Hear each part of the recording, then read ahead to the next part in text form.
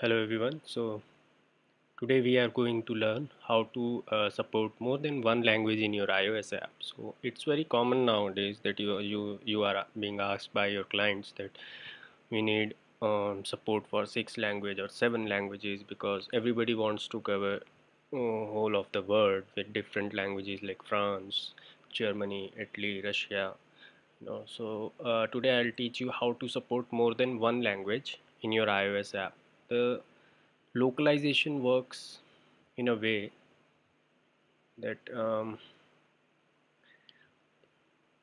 if your device setting is set to for example French uh, from device settings and general then you know from the language section uh, you change the language to French uh, it will reboot your device change the initial language from English to French and in that scenario your app will also come up in a French version okay? So let's create a demo. So we call it localization demo. And move to next we are creating a simple single view controller app. So here we created a single view controller app.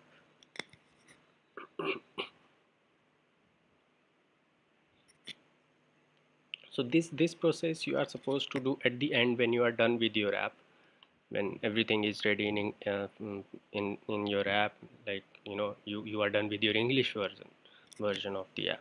So at that moment you, you are supposed to do this. So let's go to the storyboard. And I create a single view controller with just you know four or five uh, labels or text uh, to to you know to, to to to explain you how to localize your app okay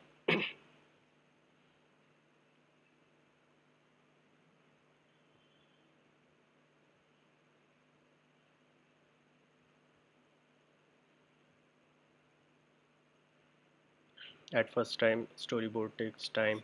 Uh, new Xcode version I'm using the latest one and it, it's a little bit slow because as you can see it's it's creating my git repository also uh, local git repository. So this is this is I believe this is um, what you say? Uh, this should be optional not you know mandatory like creating local git repository because it's not obvious means every time you are not going to push your code on git repository or remote git repository. This should be optional. Like in previous version of xcode it was optional. So comment me uh, what are your opinions in this in this context? That if, if it should be um, mandatory or it should be optional.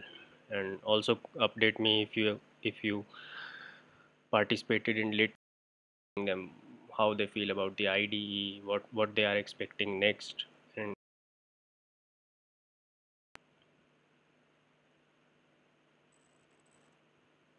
it's taking I'm running on 8 8 GB RAM but still see it's it's real slow. Don't know why. Um, maybe my, my system is heavy because I also use the same system for Android development. And I'm soon going to start Android tutorials as well. Uh, I was a little bit busy from last two to three months. So this video is late for that same reason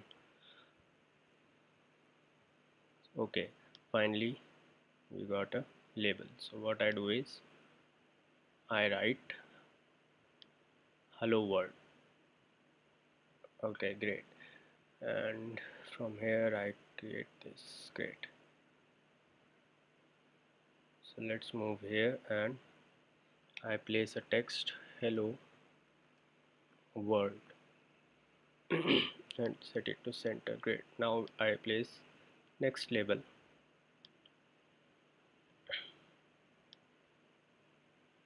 With text how are you? So let's do it. How are you? Great. And third label. What you do for living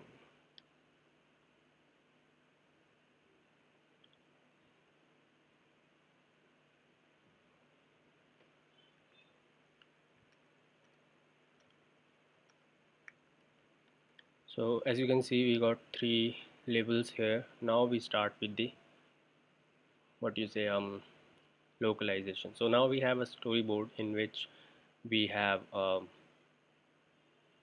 what you say um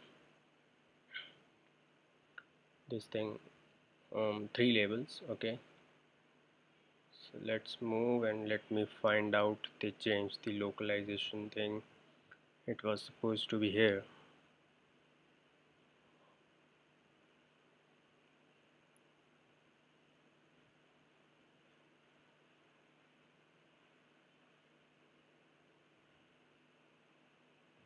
okay.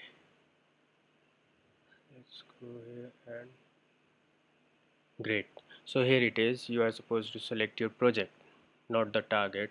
And in info it shows localization. So now just mm, click here and add French. And main storyboard launch story launch screen storyboard add both. And that's it. Now it it creates this. Main string French. Now you can see here are the labels. Now what you need to do is simply replace this red text with French version. So what we are going to do is we are going to use Google Translator. And here we type hello. Mostly you ask for this text from your client. Don't don't trust this translator like a lot. You know mostly it's wrong when it's Uh, when its language is like Arabic and you know so I converted into French and it's it shows me this. I copy this and I simply paste it here. Great. And now I just copy this go to translator and here it comes I copy this and place it here. Now the third one. Here we go. And here it is. Copy this paste and you're done. That's all. I mean when it's when it's you know uh, labels like this uh, the static labels in your storyboard it's done like this. Now what about the dynamic ones? So for that you need to put a check like in your app delegate. Just go here. Create an object for NSLocale.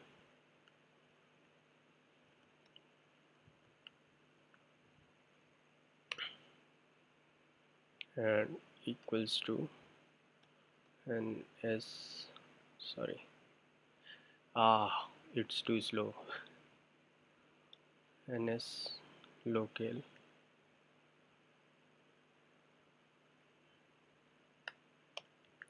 Auto updating current local okay?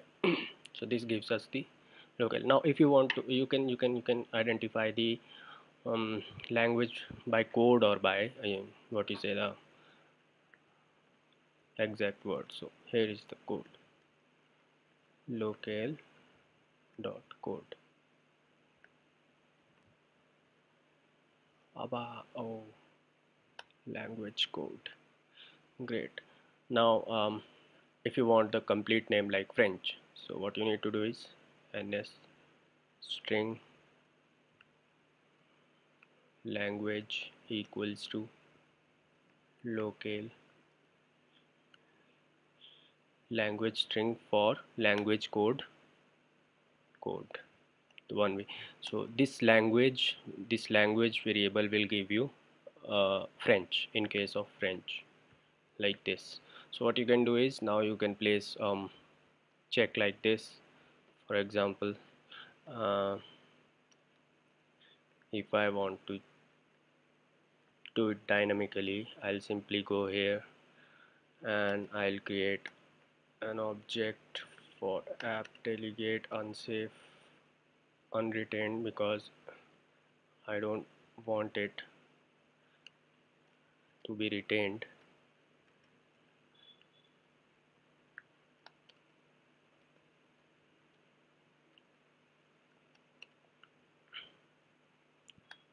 Oh sorry. Shared application um, something is wrong. Oh yeah.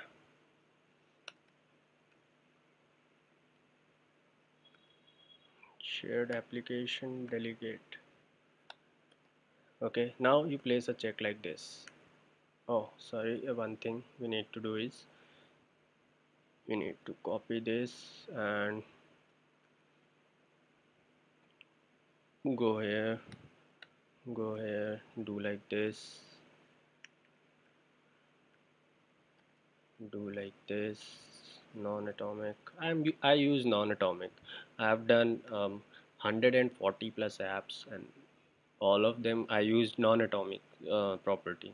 Reason being i never got a heap memory issue in my app. I never got anything like you know using a, a random crash for bad memory or you know kind of those things those random crash because of memory. Uh, so I personally use this but it's okay. If you want to use another if you think the another property is best you can go ahead.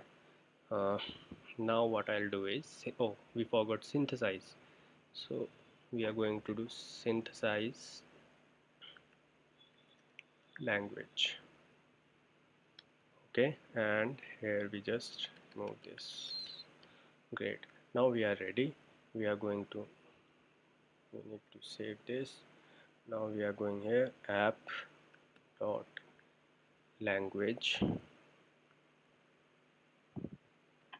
Sorry. Is equal to string French means the device language is French else it's English. So you can add as many languages as you want. Uh, now for the uh, what you say the dynamic text you can put this check wherever you are placing dynamic text and put uh, you know change the text to French version here and if it's English you can place the English version here. So this is all about this is all about the localization it's simple it's easy it's you know just to the point. So and yes uh, please do comment and please do like my videos. If you really like the videos if you really find them useful please do like the videos and subscribe to the channel. It's just a small red button with subscribe written in written on it. Just press that uh, button. Uh, I'm not asking too much. I'm just asking you to press a button. So hopefully uh, I'll bring some more nice uh, tutorials for you. And yes I'm going to start a iOS training course for all you guys for all the interns out there. So in case you you are interested to join those uh, training courses eh, in which I will explain you all my tricks and tips I used in my apps.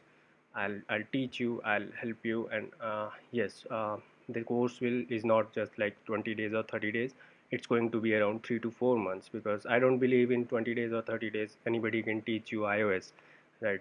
So it's going to be three to four months and in in that duration i will teach you all the tricks and tips right with you one on one using uh, communication mediums like skype or any other uh, medium whatever you, you you are comfortable with. So uh, at the end thank you for watching and just subscribe the channel. Thank you